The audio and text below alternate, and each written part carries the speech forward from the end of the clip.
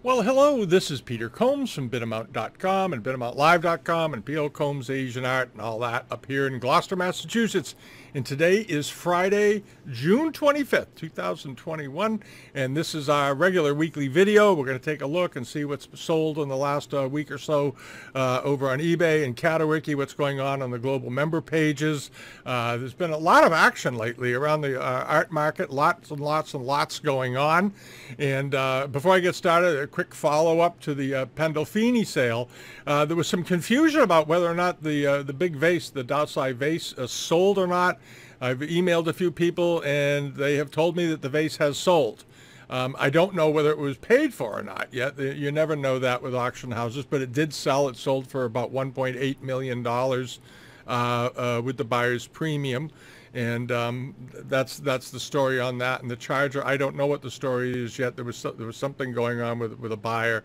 A little, I think there's a little confusion over there. Maybe it's a language thing. I don't know. But at any rate, the vase did sell and it did well. Alrighty. Now, uh, let's see here. What, what's been going on around here? Oh yeah, the the uh, the Bidamount Live site. Uh, a number of new, number, lots of new listings showing up. There's several hundred listings on there now, and I'm going to quickly run through it because we didn't talk about it much in the last week, and, and it is our website, of course, and uh, uh, we threw some things on there. We've got some more things of our own that are going up this week. We added uh, these uh, Korean portraits this week. Somebody added some very nice blue and white examples with pretty extensive write-ups on them and reasonably priced, $249 for the sets, not bad at all. Uh, uh, nice looking Kangxi examples and other things that have turned up on here. There's some silk that I liked a lot. And I don't, I, I think the prices are really reasonable. There's this, this is almost seven feet long, six foot, uh, six feet, uh, six inches long, this giant piece of silk, uh, uh, silk work with the, the ascending female immortals riding the cranes and precious objects, lots of detail. It's a really nice silk. And, I, and as many of you know, I love silk with apricot grounds on them. Uh, nice old piece. This is a 19th century example, probably first half of the 19th century uh, for $895. And also this rank badge, a nice looking rank badge. And that is, uh, uh I think this is, uh, what is, what is this? This is the, uh, is this fourth rank? It says no ninth rank. Okay, it's a flycatcher, right? It's not the the goose. The flycatcher uh, rank badge uh, for six hundred dollars. It's a nice one. Silks have gotten a lot of interest lately. We have some silks actually on eBay right now. We're selling for a customer um, uh, that we had to put on the uh, auction side because they wanted to auction them, and the the Bidamount Live site isn't quite ready yet for auctions. Otherwise, we'd have it over here but uh, uh, we've, we've gotten a, a, state we've gotten involved with and they want us to auction some things for them. So we're doing what the customer wants. At any rate, um, uh, there's that, and then this showed up. This is nice. This is a uh, this pattern. This is a, on the Bidamount Live side. Is this uh, 18th century Famille Rose uh, uh, creamer? And uh, what's interesting is the pattern on this thing on this this uh, piece is a pattern that you see uh, mostly on on export wares that went to Europe. You find this particular pattern in France fairly often. Uh, it's a very nice one, and the price I think is very reasonable, $199 for a nice piece of Famille Rose. Um, uh, uh, and as I said, often for the French market. And you'll see the same pattern sometimes with children with firecrackers, but very similarly decorated. Uh, any rate, so that that's what's going on over there. And, uh, check out the site. Check it out. There's a lot of new stuff turning up there, uh, increasingly, uh, and, and, we're going to be throwing some things on there uh, coming up this week. A number of things, some Imari and this and that. We're finally getting. We've been awfully busy uh, here doing one thing or another, and I'm somewhat still limited with the use of one hand. So that's the way that goes until it's resolved. and what else is going on here? Oh, on Live Auctioneers, um, the first two two parts of the uh, Rob Michiels sales have been completed. And if you if you're a global member, if you use the global member pages, uh, you want to go over and check out and see how they did. The uh, items that are sold will these will remain up here until tomorrow. We're going to update the site tomorrow morning, but uh, we'll leave them up there for a day. People can go check out the prices. Overall, the prices were pretty good.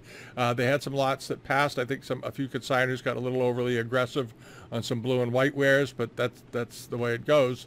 The market will tell you what it's worth. It doesn't matter what you think it's worth. But overall, it looks like the sale's doing quite well. Uh, Rob sales always do well, so uh, it's just the way it is.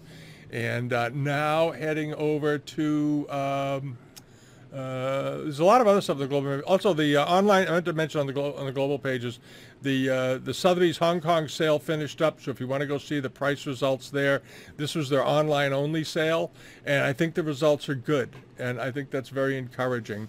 Uh, because uh, increasingly auction houses, even the big ones, are going to online only for quite a bit of their sales because they're finding they're highly effective. And that's that. Oh yeah, we did a video this week. If you haven't seen it, we did a video on fakes and some issues with a couple of uh, couple of auction houses on live auctioneers and some of the shenanigans they've been up to to try to convince people that things are from estates and from old collections and all this malarkey. Um, so you want to check that out. We did an opinion piece on that. And uh, now, what is happening on uh, eBay? This happened on eBay this week. Uh, we t- I talked about this robe last weekend because I thought it was very, very pretty. I thought the, the patterning on it was quite good. I like robes, as you know, and uh, the detail of the work was very good. The silk was nice quality uh, all the way around. Uh, uh, nice, nice, nice uh, micro micro needlework on here, and the, the the robe ended up selling for thirteen hundred and twenty five dollars. And that's pretty good for a non-dragon robe. A very nice example. It would have brought more if it had a silk damask ground. If you have silk damask ground, they can even bring more because it's considered a bit fancier. All right, and then over here, this was a great buy. Uh, ceramics and collectibles, the guys in uh, uh, Northern Europe, the, the, the, the, the Shangri-La guys. Um, this was a very nice 18th century Rita dish, uh, very focally drawn. I like the drawing on it. it. has a little bit of a shape to the rim has a Y pattern spur mark on the back, which indicates 18, first half of the 18th century typically. Uh, very, very nicely done. And somebody picked this up for 52 bucks on eBay. That was a great buy. That was a terrific buy. Um, and also, they are ceramics and collectibles. They they'll be in the newsletter page this week. You'll uh, those of you use the newsletter page, you'll see them in there. They have a sale coming up, and so does um, I think it's uh, Migulari also is having a sale coming up, more items than usual. And and these guys have a bunch of stuff up. Um, and uh, some some very you know very very nice things as always, and so does Migulari. So you want to check out the newsletter page this week all right, on there, particularly for those things. Okay, now over here to this. This was something, one of those Nona Straits uh, Famille Rose uh, vases. Uh, this was a, a, a, rather pretty one, rather tall and sort of elongated. Uh, I, I, liked it uh, quite a bit. I thought the colors were nice. I liked the shape of it. And uh, ended up selling for $1,062. quite nice. And then on to this was this big jar. this jar, as I recall, had been up for auction a few, maybe a month or two ago. Some of you may remember it. It was a really nice one. Um, I, am not crazy about how, how he angles his camera for photography because it makes the bottom look bigger than the, much bigger than the top. It's that's the curvature of the lens that does that. But this is a particularly nice one, and I love the facial expression on this guy. Um, sort of benign, kindly old guy and uh, I, I, just like I like this uh, vase a lot. And as I recall, it brought about the same price last time. I, I think this was a non-payment issue, which many of you know is a problem on uh, eBay. This is a seller who uh, hasn't sold much. Oh, he's uh, uh, from Buffalo, New York, and he's dealing. He apparently had to deal with a, a non-payer out of the mainland, I suspect, more than anything, or a, a buyer that's shipping over there. And then over to this was this very nice 18th century relief worked famille rose with peaches. And I think this had also had pomegranates on it. Yeah, we talked about this one last week because I just thought it was so nice. Has a slightly ribbed body, relief work, nice overglazed enamels, blues and pinks, and so forth. And uh, it sold for did well. It brought three thousand and fifty dollars. But beautiful form, top quality, and probably Yongzheng period, I would guess. And then moseying on over to this. This was an interesting thing last week. I had a, number of inquiries about it. People wanted to know, you know, is this, you know, it's obviously Chinese. It's got Chinese writing on the back, but the uh, seller didn't seem to know uh, a heck of a lot about what it was. And uh, I'd seen these before. Um, this was a, uh, a type of a military medal that was hung out, uh, was was handed out um, following the 2000, uh, the, or, or, excuse me, yeah, the, uh, the 2011 um, revolution, uh, or 1911, excuse me, 1911.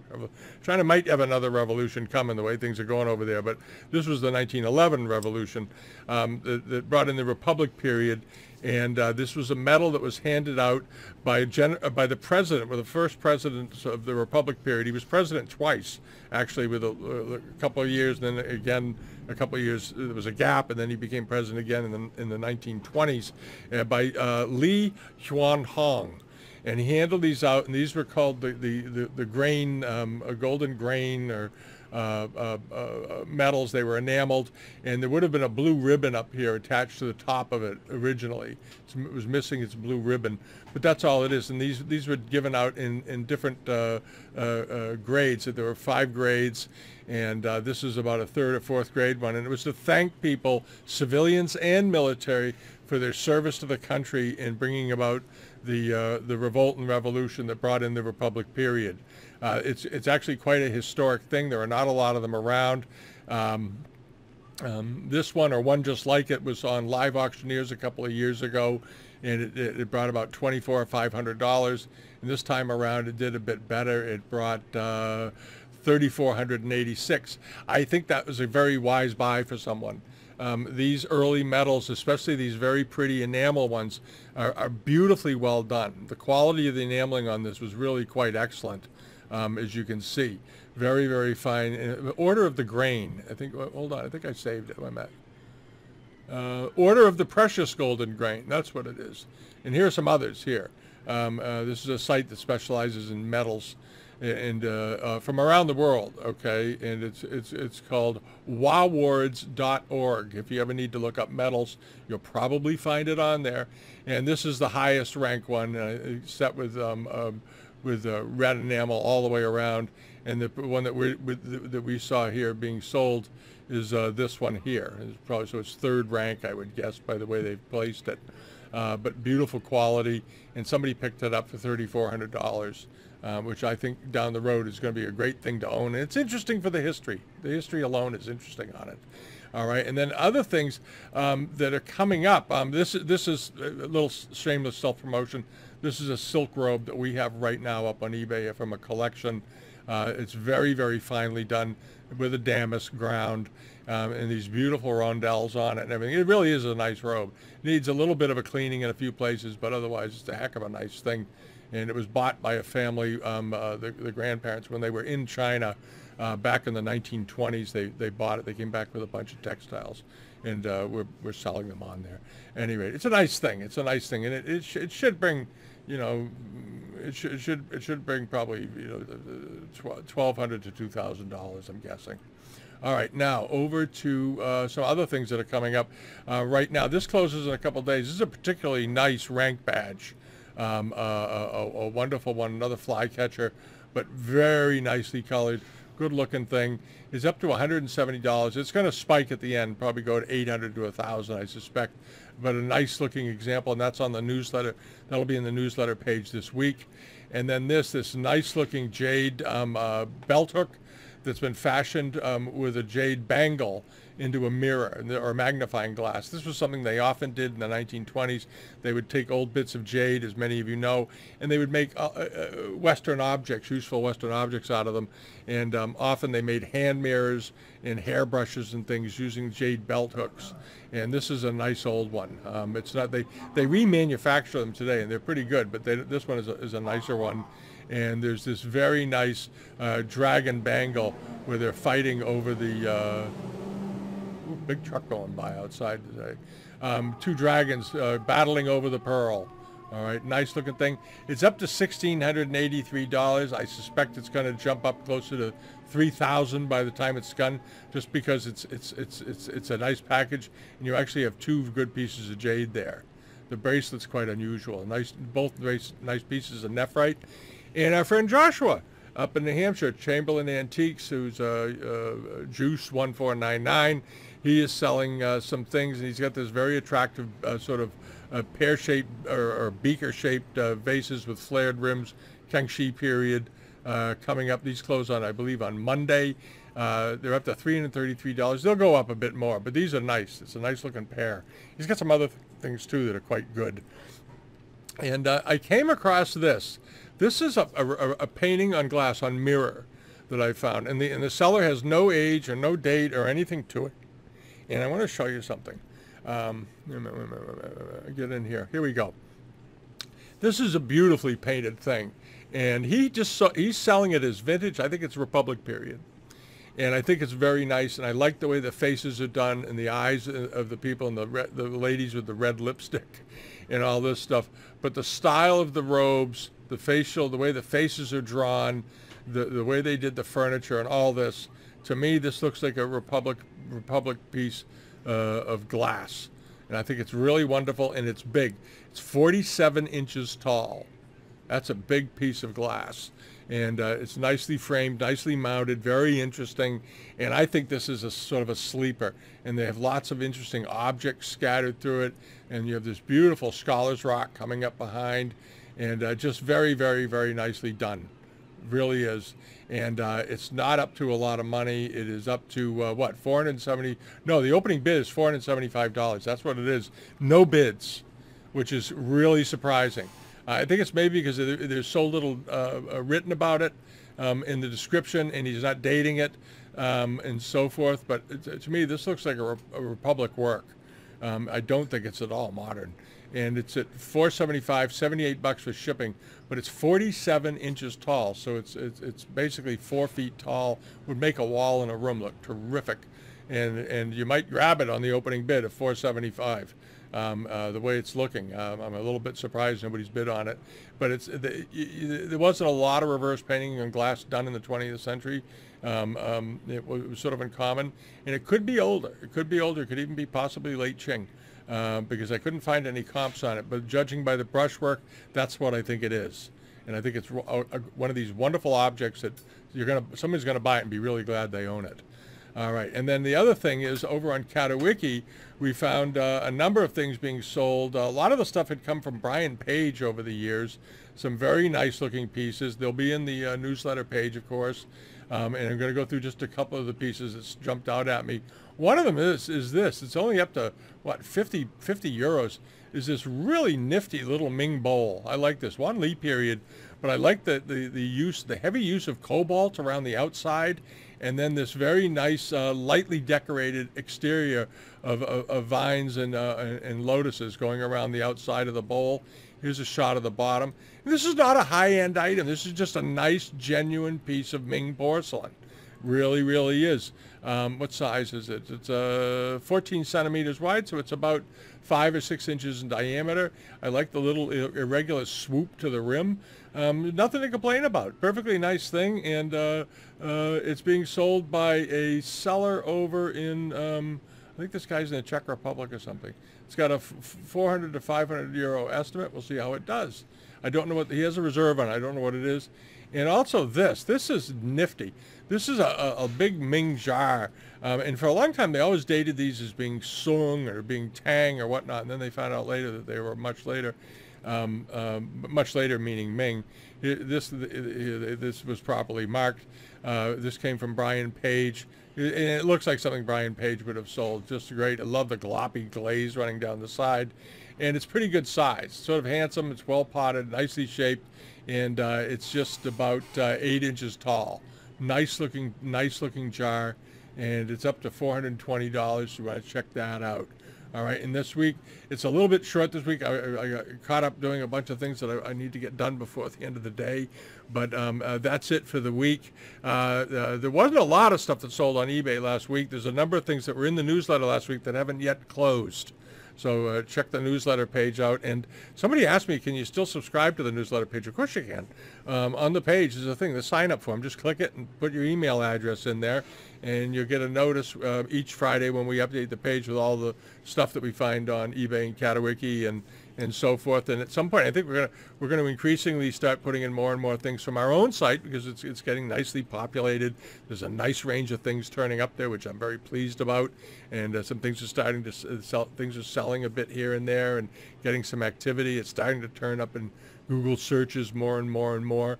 Uh, there's a penetration process that takes place to get stuff because we're competing against obviously some very large websites out there, and uh, we'll get there. I'm, I'm confident about that. All right, and check out the uh, video we did uh, just yesterday on the uh, on the issue of fakes and how to, uh, some of the ways you can you can look and make sure you're not getting you know taken uh, because there is a problem with that as we all know on the web. It's it's gotten kind of silly um, what some of these guys are doing. I mean, it's gotten absurd and it and it, it is dishonest. Uh, period. So anyway, all right. So check it out. Have a wonderful weekend. Uh, subscribe to us here on YouTube if you haven't already. We do these uh, at least once a week, and uh, like this week we did two. Other weeks we'll do even do three if, if there's a lot of interesting auctions going on. And uh, visit us at bidamount.com and visit us over at Bidamount Live and uh, join the forum too. The forum is still doing uh, lots of activity over there. If you have questions on things, um, you can always go to the, use our forum on Bidamount and um, ask questions and share things. They're nice people there that uh, use the site and they're they're friendly and they'll they'll help you with things and good conversations. All right, have a have a great weekend and see you next week. Thank you. Bye bye.